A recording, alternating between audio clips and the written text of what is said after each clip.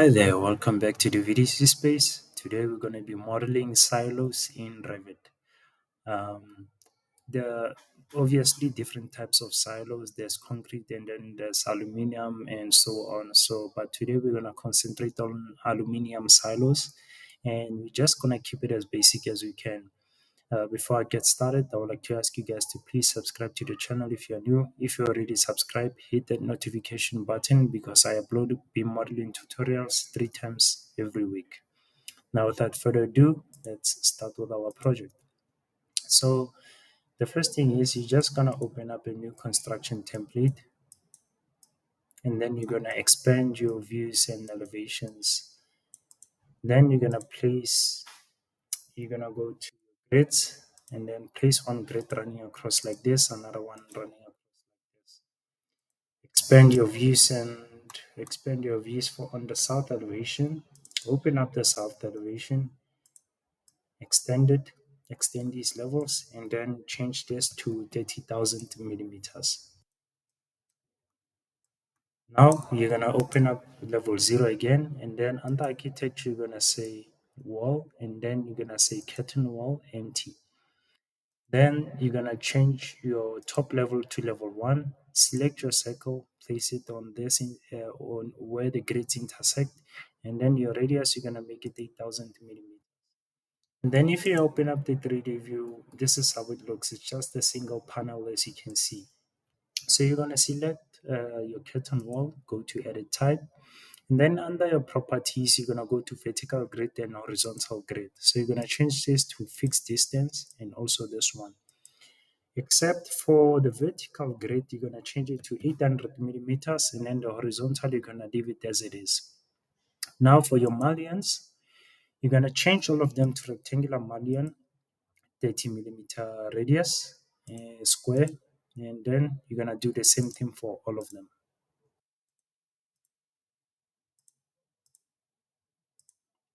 Perfect. I'm gonna say apply and then okay.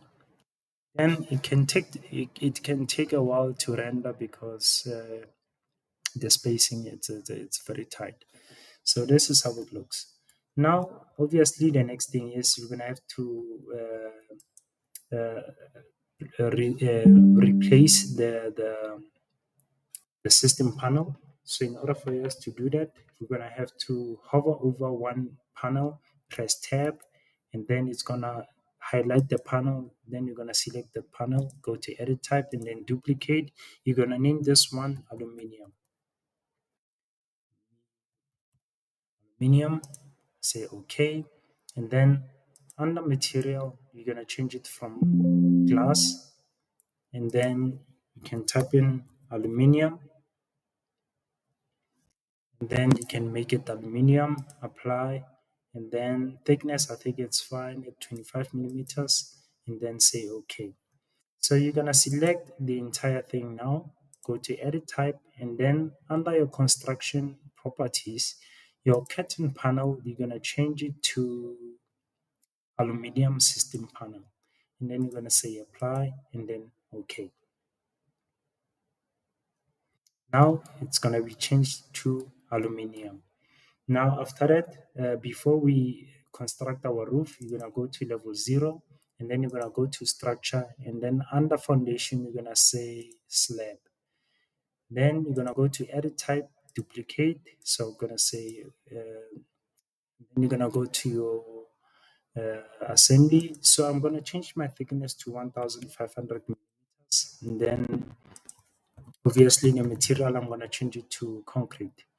So I'm gonna change this one and make it with the cast in situ. Um, load it in, apply, and then OK. Okay, and then OK. Select my circle from this point. So our radius is gonna be 10,000. So our diameter is gonna be uh, 20,000 millimeters. So this is how it looks. Now, the next thing is you're going to go to level one, which is where basically the start of the roof is. Uh, is uh, it's basically the start of our roof. Um, for our roof, we're going to go to architecture and say roof, obviously.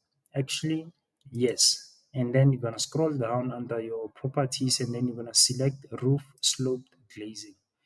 You're gonna select your circle again and then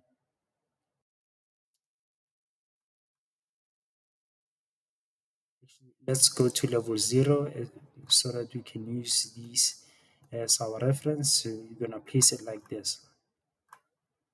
So make sure I'm gonna offset it a little bit outside of the walls.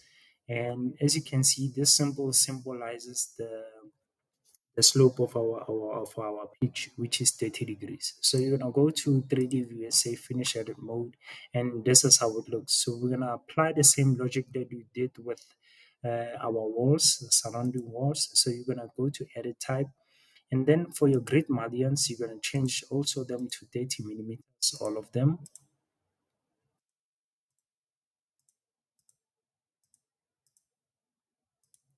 And then for your grids, you're gonna change them to the same offsets that you did when it comes to your walls. So for your grid one, I'm gonna change them to, to 800 fixed distance. And then grid two, I'm gonna leave them at 1.5 and say apply. I'm just gonna say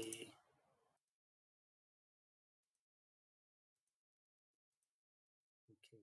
Uh, okay, let's select it again, edit type curtain panel, I'm going to change it to aluminium. And let's see, for grid 1, I'm going to change it to maximum spacing, maximum spacing. This changes to 800, apply, and then okay. So this is how it looks. Now, if I select it again, let me just go to edit type. I, many, I change them from fixed distance to maximum spacing this time. So I'm to select select these um, these uh, grid mullions and then I'm to change them to 30 millimeter square.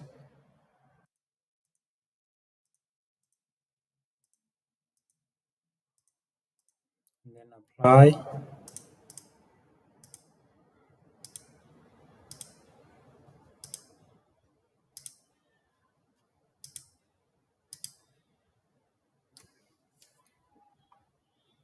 Uh, so it's a bit tricky when I place our mullions, so that's why it's acting like this.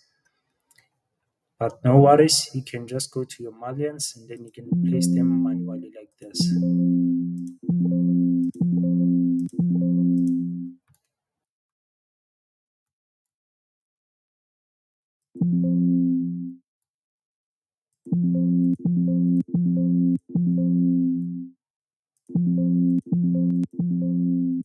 So you get the idea. You can just go to uh, mullions.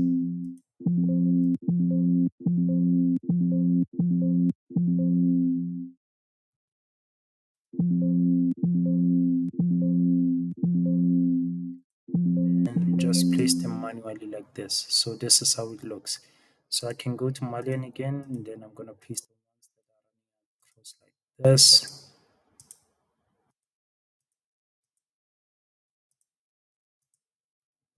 Perfect. Now this is basically how it looks.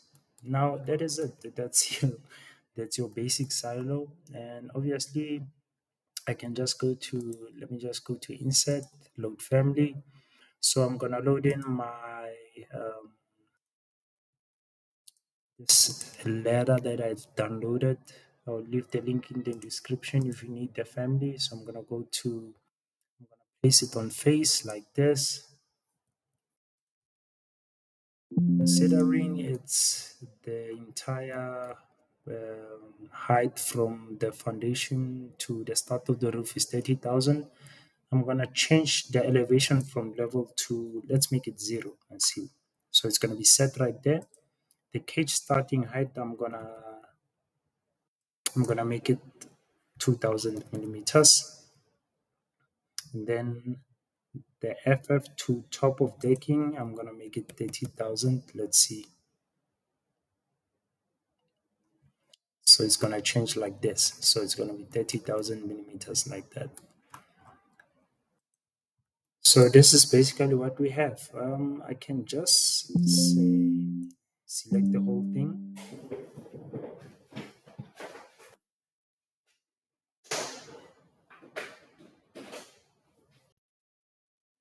So I'm gonna select the whole thing. Deselect the levels, go to level zero, and then I'm gonna copy this to the other side, offset it by 18,000 millimeters. And then another one by 18,000 millimeters.